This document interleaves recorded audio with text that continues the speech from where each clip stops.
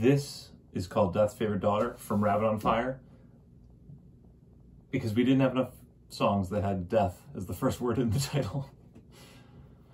this is a story about a uh, someone who is very good at with a sword.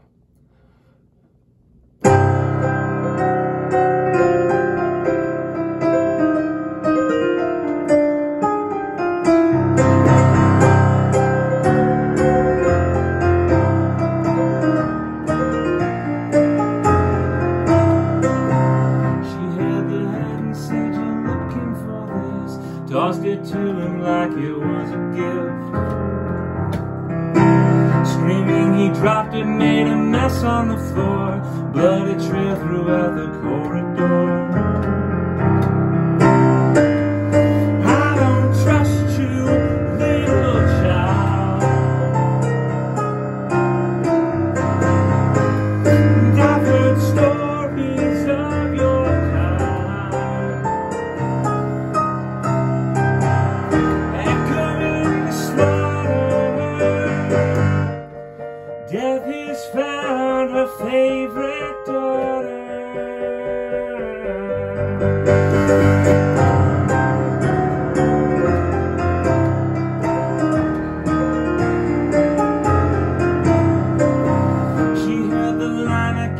Hundred or more. Her only dancing partner was a sword.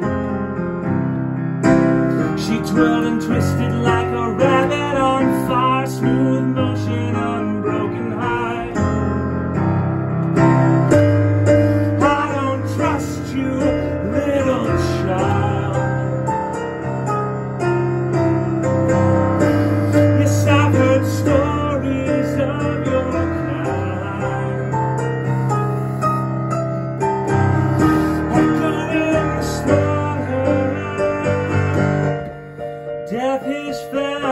found favorite daughter.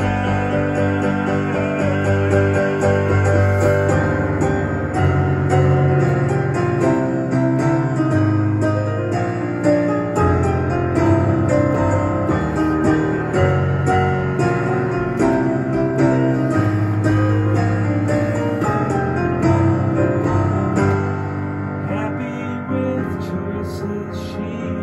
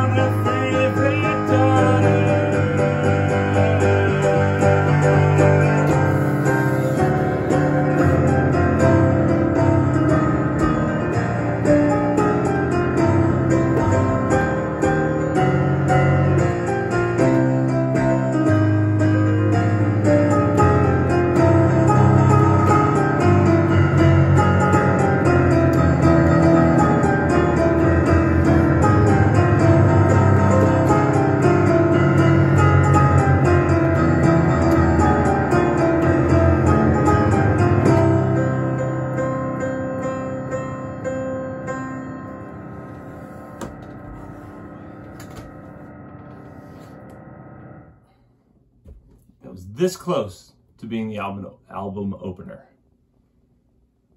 But it's not.